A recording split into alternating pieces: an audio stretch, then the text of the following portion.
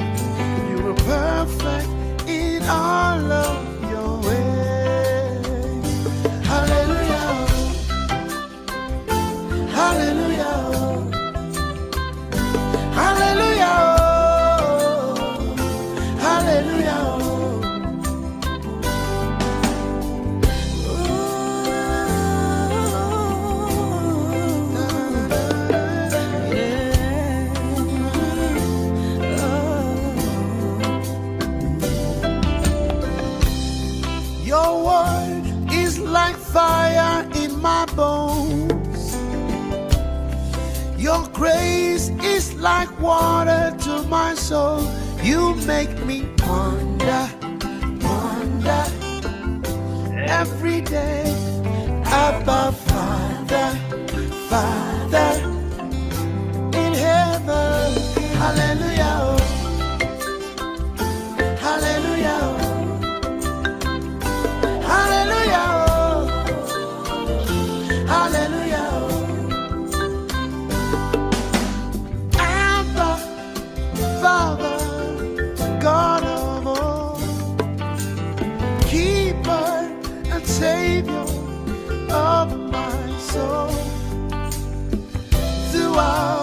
Throughout the ages, unchanging.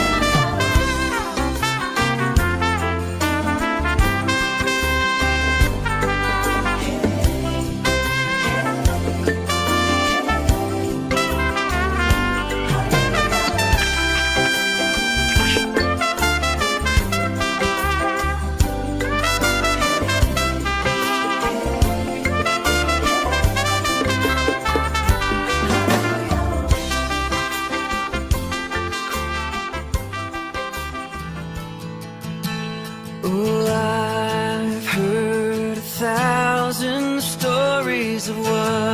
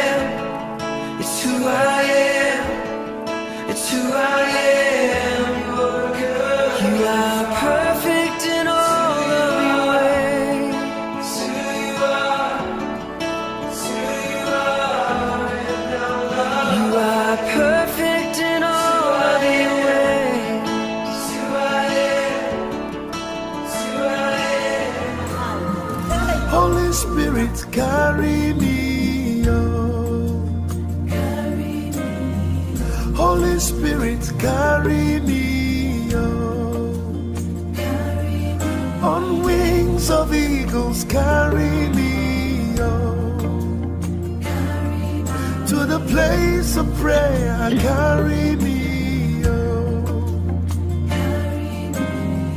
Holy Spirit, carry me, oh. to the place of power. Carry me.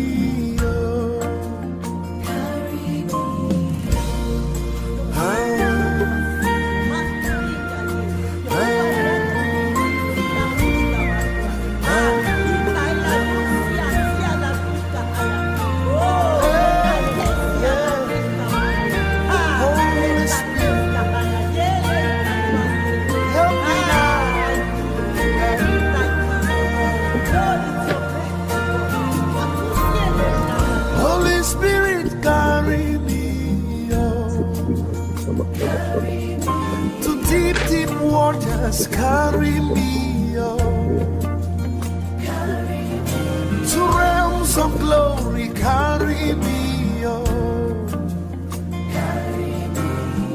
Holy Spirit, carry me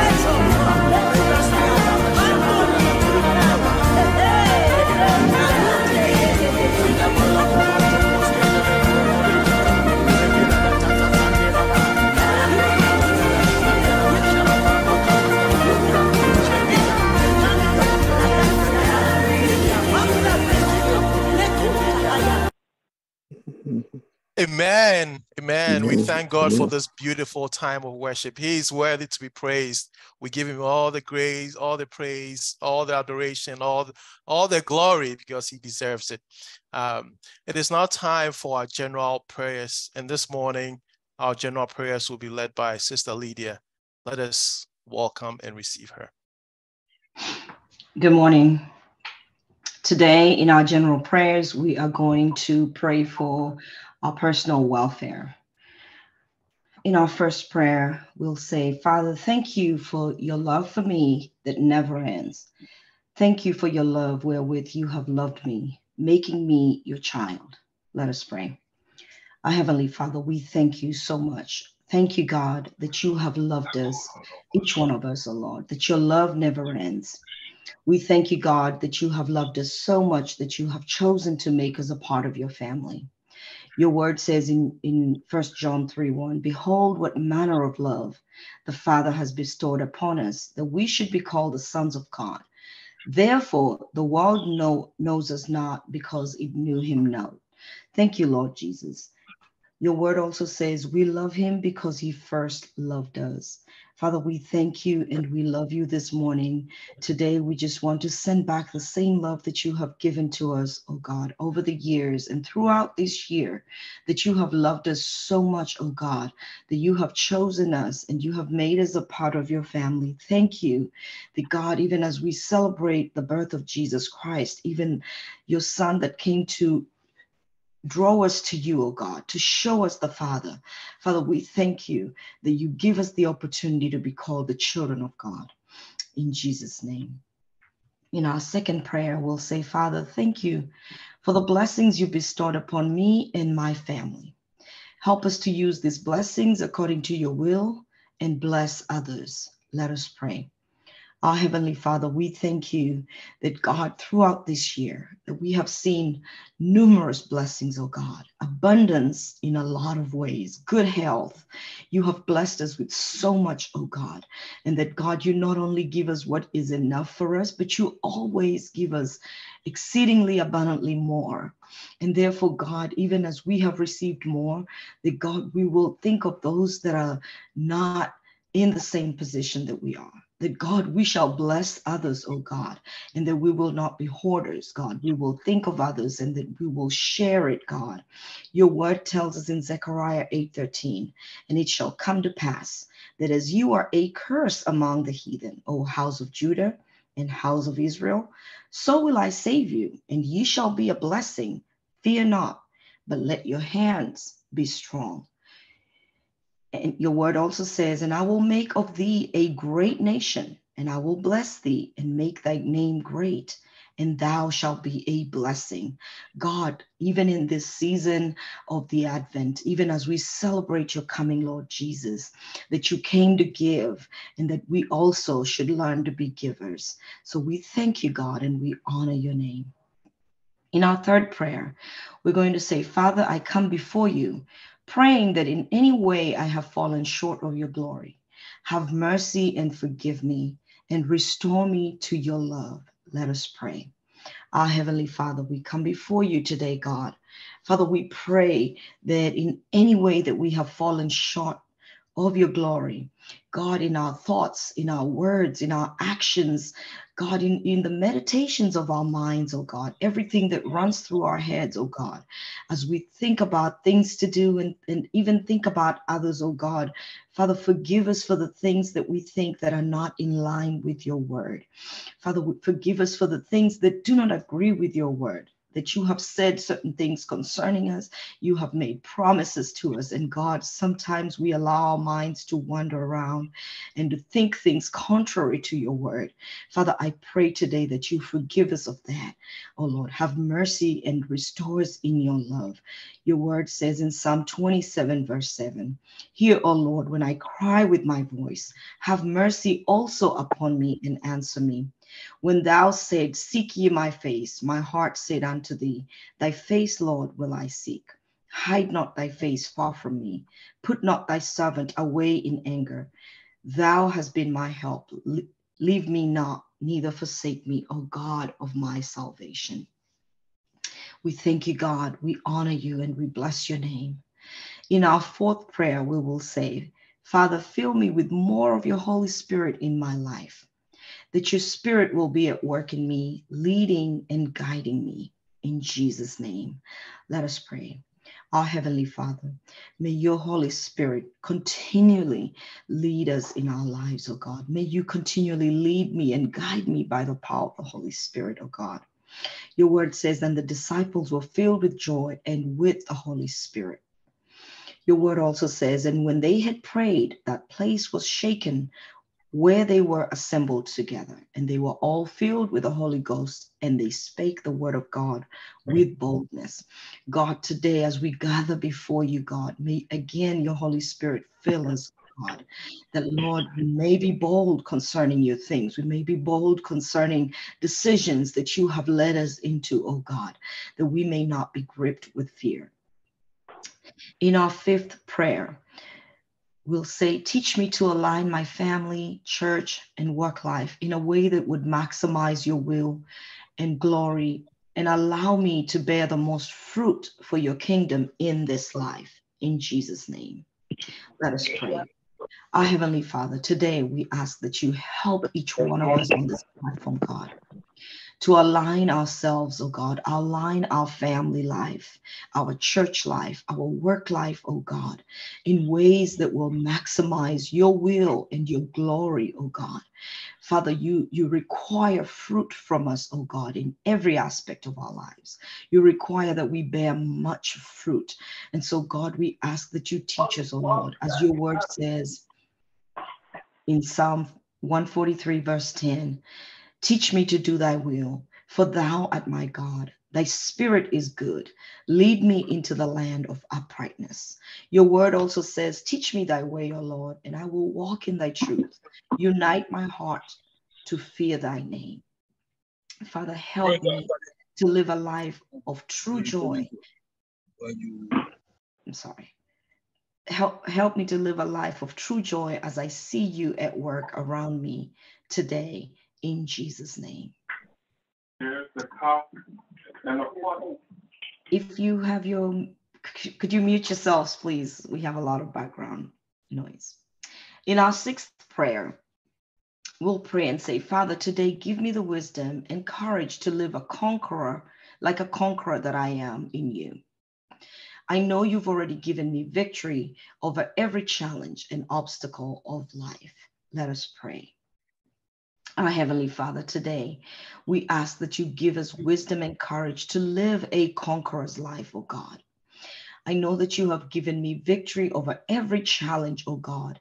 Help me, oh Lord, to know that and to walk in that confidence that I have the victory of every, over every obstacle in life. Your word says Nay, in all things we are more than conquerors through him that loved us. So let us walk like conquerors today. Help each one of us on this platform, even as we come before thee and as we approach you, God, that we will remember that you have already made a way, even where there seems to be no way. That, Father, you have already made provisions for us, oh God, that as we go into every battle, as we go into every situation of life, that you have already gone ahead of us us, oh Lord, even as you did with the children of Israel, that you send your angel ahead of them, oh God, and that you even send us, oh God, knowing that you have already prepared a way for us. And Father, we thank you that today we shall experience that victory in life as you have already ordained, oh Lord. In our seventh prayer, we'll pray, Father, teach me how to center my life on you and help me to obey your word and follow the directions that you are leading me. Let us pray. Our Father, we thank you, God, that you actually lead us daily by the Holy Spirit. So help us, oh God, to center our lives around you. That God, it will not be about us, that it's always, it's always been about you, Jesus. So help us to remember that and to obey you, to obey your word and to obey your directions, oh Lord. And that to listen to that voice of the Holy Spirit when he speaks to us, when he gives us direction, that we will listen. Your word says, in 1 Samuel 15 22, behold, to obey is better than sacrifice, and to hearken than the fat of rams. Your word also says, Search me, O God, and know my heart. Try me and know my thoughts, and see if there be any wicked way in me, and lead me in the way everlasting. So, Father, today, as you lead us, as you show us the way, as the Holy Spirit whispers direction and instruction to us, the Lord, we shall hearken to your voice. That God, we will not uh, turn away. That God, when you say, This is the way, walk ye in it, that we will hear that and that we will follow that, God.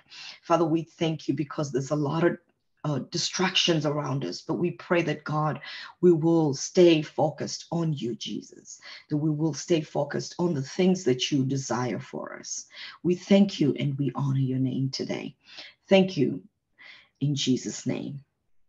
In our eighth prayer, we will say, Father, thank you for being my God and for allowing me to have a personal relationship with you. In Jesus' name. Our Heavenly Father, we thank you so much. Thank you, God, that you chose us. Father, we were lost in sin. We were lost in depravity and, and not knowing which way to go. And Father, you chose us and you daily choose us, oh God, that every day of our lives, even as your children, you still choose us, oh God, and that you find us worthy to be called your children. And so we honor you, oh God. Thank you that we have a relationship with you. God, we thank you that because you have committed yourselves to us, that yourself to us, that God, you will help us to also commit to you, oh God, in the same way that you have given to us, oh Lord. Your word tells us the Lord is my strength and my song. He has become my salvation. He is my God. I will prepare him a habitation, my father's God and I will exalt him. God, today, may we prepare a habitation for you. May we remember how much you have committed to us.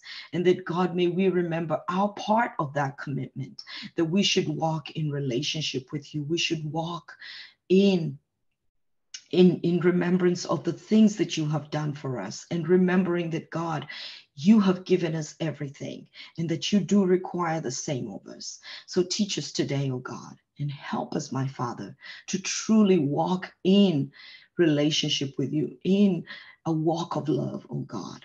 I thank you, God, and I honor you today. In Jesus' name, amen. Amen. We thank God for answered prayers. Amen. Uh, we shall now go into our Bible reading for today. Today's Bible reading is taken from Luke chapter 2, verses 8 to 20. Luke chapter 2, verses 8 to 20. And I read The shepherds and the angels. In that region, there were shepherds living in the fields, keeping watch over their flock by night. Then an angel of the Lord stood before them, and the glory of the Lord shone around them, and they were terrified. But the angel said to them, Do not be afraid, for see, I am bringing you good news of great joy for all the people. To you is born this day in the city of David a Savior who is the Messiah, the Lord. This will be a sign for you. You will find a child wrapped in bands of clothes and lying in a manger. And suddenly there was with, with the angel a multitude of heavenly hosts praising God and saying, Glory to God in the highest heaven, and on earth peace among those whom he favors. When the angels had left them and gone into heaven, the shepherds said to one another, Let us go now to Bethlehem and see this thing that has taken place, which the Lord has made known to us. So they went, they went with haste and found Mary and Joseph and the child lying in the manger. When they saw this, they made known what had been told them about this child. And all who heard it were amazed at what the shepherds told them. But Mary treasured all these words and pondered them in her heart. The shepherds returned, glorifying and praising God for all they had heard and seen as it had been told them. This is the word of the Lord. It is now time to, uh, to bring the, the word of God this morning. Um, the charge today will be given by one of our own, Sister Winifred. Um, let us receive and welcome her. Good morning. Glory to God in the highest. Emmanuel, God is with us. Thank you, Pastor Tunji, for giving me the opportunity to bring the charge this morning. It's a privilege, and I really appreciate it. Thank you, sir. Let us pray. Heavenly Father, we thank you. Thank you for giving us your only begotten Son, our Lord Jesus Christ, our all in all, our hope for years to come. Speak to everyone on this line today. Let them hear your voice. In Jesus' mighty name, we prayed. Amen. I titled my message this morning as Our Hope in Christ, in Him Alone. In Christ alone, my hope is found. He is my light, my strength, my song. This cornerstone, this solid ground, firm through the fiercest drought and storm. What heights of love what depth of peace when fears are stilled, when striving cease. Hallelujah. My comforter, my all in all. Here in the love of Christ I stand. Glory to God. Father, I thank you. The birth and the gospel of our Lord Jesus Christ gives us hope. When you have Christ, you have hope. As the celebration of the birth of our Lord Jesus Christ is coming, we know that this month is pregnated with hope just as it was in the time of Herod and in the world today, a state of hopelessness. Our hope in Christ changed the basis for everything. Christ is telling us now, he's telling you now, trust in me. Unbelievers have hope too, but Christians' hope, our hope, is built on nothing less than Jesus' blood and righteousness. Hope is a feeling of expectation for a certain thing to happen, but biblical hope is a confident expectation and desire for something good in the future with the hands of faith, which carries it until it is released. A writer describes hope as the eyes of faith. Christians' hope is not only limited to this life, but life after death because of the resurrection of our Lord Jesus Christ. Elder Taiwo talked about faith on Friday. So we know now for sure that our faith is the basis for our hope. Proverbs 23 18 says, Surely there is a future, and your hope will not be cut off. I like what Pastor Jesus said yesterday. Quote, visualize yourself in God's right hand. Meaning it's only in God's right hand that you can access all his promises. As you are hoping, you are visualizing it until they are delivered unto you. Our hope in Christ must be renewed. God is the giver of hope in him. Our Father is a loving God. We see it in His word. Quite a lot of promises in the book of Isaiah filled with messages of hope. Jeremiah 29 11 says, For I know the plans I have for you, declares the Lord plans to prosper you and not to harm you, plans to give you hope in the future. As the year is going to an end, we begin to hope for a brighter, better year to come but with so many uncertainties, the future can be frightening. But let's remember we have an ever faithful God who knows the future. He is holding us safe and secure in his hands. No matter what you are going through, put your hope in Christ alone. Isaiah 40, 31 says, For those who hope in the Lord, he will renew their strength. May the Lord of hope renew our strength. In Jesus' name, amen. Our hope comes from God. His words gives us that assurance. Psalm 62, 5 says, Yes, my soul find rest in God. My hope comes from him alone. Don't be afraid of the future. Don't be afraid of the unknown because of what you see with your eyes keep that hope in Christ burning. When you're afraid, you're in despair. Despair is the opposite of hope. It's a state of hopelessness. Christ in you is the hope of glory. As humans, we may find it difficult to see the light at the end of the tunnel, but keep hoping in Him. Be optimistic and throw out all the negativities.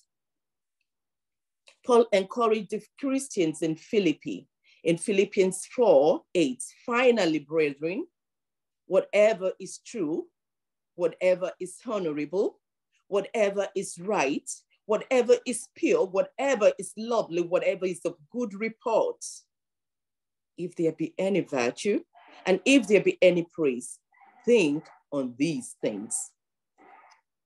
As you begin to think on them, your hope is lifted. You can actually see, you can visualize, you can see them, and they begin to find expressions in your life. Our Heavenly Father who sees the hearts knows that your souls wait in silence for him. Psalm 147 11 says, The Lord delights in those who fear him, who puts their hope in his unfailing love. Now, what are the benefits of hope in Christ? Hope in Christ will give us courage instead of fear, and it will renew our strength. Hope in Christ provides us with patience and endurance.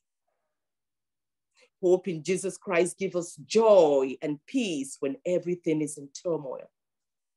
Romans 12 12 says, Rejoice in hope, be patient in tribulation, be constant in prayer. Hope in Christ gives us confidence when in doubt. Jeremiah 17 7 says, But blessed is the one who trusts in the Lord, whose confidence is in him alone. Here's my prayer for you today. I read from Romans 15 13. May the God of hope fill you with all joy and peace as you trust in him, so that you may overflow with hope by the power of the Holy Spirit. Amen. Peace of the Lord be with you. Thank you. Amen. Amen. We thank God for for that powerful um, word of hope. Um, the, the Bible and the scriptures is filled with with hope, and it, it gives us a resource to to fall back on in in every situation that we find ourselves in.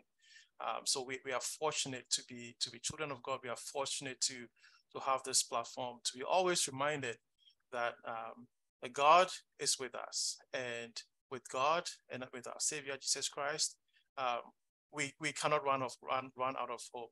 We have faith, we have hope, and um, you know no matter what we are going through, no matter what our issues are, um, He's there for us. So it is it's now time for us to go into our time, our personal time of prayer, our time with the Lord. Um, this is arguably the most important part of this program.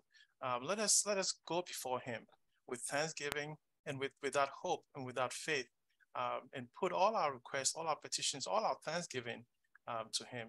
Um, and we'll be back shortly.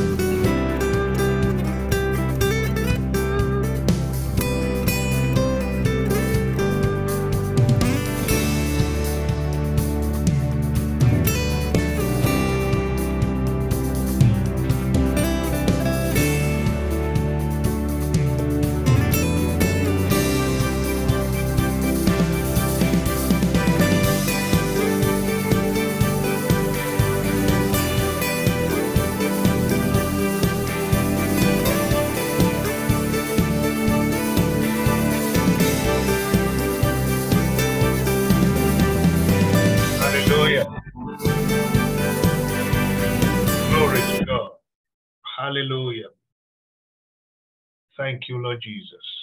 Glory to God.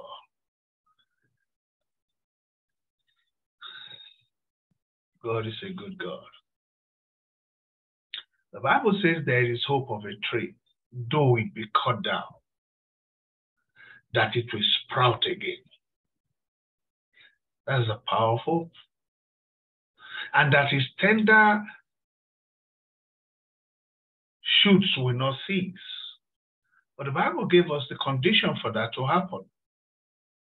He said, no matter how bad the case is, though its root may grow old in the earth and its stump may die in the ground. He said, but or yet, whichever translation you are using. That's Job 14, verse 9. Now he said, yet through the scent of water it will bud and bring forth blast branches like a plant. Great to have hope, but hope is fired by the word of God. That's why the Bible says, To him that is joined to all the living, there is hope. Hope is fired, motivated. In fact, that's what the whole scripture is, is all about. Said to the end that we may have hope as you go through his word, as you're impacted by his word, as his word is unfolded to you, something begins to open up on your inside and you begin to see brighter, you know, future for yourself, for your life, for your health, whatever. That's the whole essence of scripture. So for your hope to be alive, to be strong, you must connect with his word. He said, Yet through the scent of water, it shall bud again and bring forth branches like a plant. You know, Proverbs puts it this way, my son, eat thou honey, for it is good, and the honeycomb which is sweet to thy taste. He says, so shall the knowledge of wisdom be unto thy soul. And when thou hast found that knowledge, then there shall be a reward, and your expectation or your hope shall not be cut off. It's all fired by the word. So let's sit down with his word. Amen. Let's sit down with the word and let hope come alive. He said, Thou shalt be secure because there is hope. yeah, hope secures destiny. But then you don't stop there. He said, thou shalt dig about it. And thou shalt, in that regard, take your rest in safety. It's powerful, but not lose hope but fire your hope with the word. Let the word of God keep refreshing your hope. Glory to God. What a great day in the presence of the Lord. Let's have Pastor Jesus close us in the service, in this uh, devotion this morning. Amen. Amen. We give all the glory and all the honor and all the praise unto the name of the living God. He's a good God. We thank God so much for that message of hope, the message of hope. This whole season is a period of hope and great expectation, as uh, Sister Winifred and Pastor also confirmed. It's a period of hope and great expectation. And he said, he said, your hope, he said, there is surely a hope for you, and your hope will not be cut off. Proverbs um, 23, 18. There is surely a future hope for you, and your hope will not be cut off. I want you to know that as a child of God, your hope, your future is always better than your present. Uh, it doesn't matter how old or how young you are, your future is always better than your present. So let us never worry about the future. Let us rejoice in the future instead. Whatever your situation, your future is better than your present. He says, Your light shall shine brighter and brighter and brighter and brighter unto the perfect day. So there is a that God has set for you and I. And as we look forward, let's look forward into hope. Let's have hope. The future is always better than the present. We thank God so much. We thank God so much for this powerful message to us this morning. I am so fired up. I have hope in the Lord that my future is better than my present. And the Lord will secure that future in Jesus' name. As we all know, this program runs Monday through Friday 5 a.m. to 6 a.m. Mountain Time. We are all encouraged to send the good news out there invite family and friends. Tell your friends how, how nourishing this program is. Tell them how sweet and delicious this breakfast meal is every morning to you, how it is healing your bones, how it is refreshing you. Go tell it on the mountain. Go tell it. Go tell it to all the city. I mean, that is a good message in your mouth. Go tell people, send it out to your face, uh, your FaceTime or your Facebook friends and your WhatsApp friends. Tell them, don't keep it to yourself. And be happy when you see people that you have invited showing up on this platform. We thank God so much. Let us receive the blessing of the Lord. The Bible says, faith, uh, hope fail us not. Father, in the name of Jesus Christ, I bless your children this morning, O God. Father, let your hope be ignited in them, O God in you, O God. The hope in your integrity, Father, be ignited in your children as they begin this day, O God. Let your give them the spirit of faith. Receive the spirit of faith to believe that the day today shall be better than yesterday, that your future is better than your present. Go out there, Father, give your children the spirit of joy. Say, great light and great joy of the Advent come upon you this morning in the mighty name of Jesus Christ. Receive of the Lord the goodness of heaven, the good treasure of heaven be open unto you this day. May the Lord open the heaven, the good treasure of God Himself, the richest man on earth is God.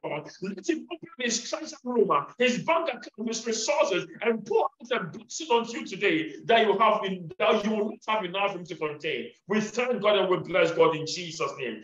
Now let's share the grace. May the goodness of our Lord Jesus Christ, the love of God, and the sweet fellowship of the Holy Spirit be with us now and forevermore. Amen. God bless you. Have a blessed day. See you all tomorrow morning.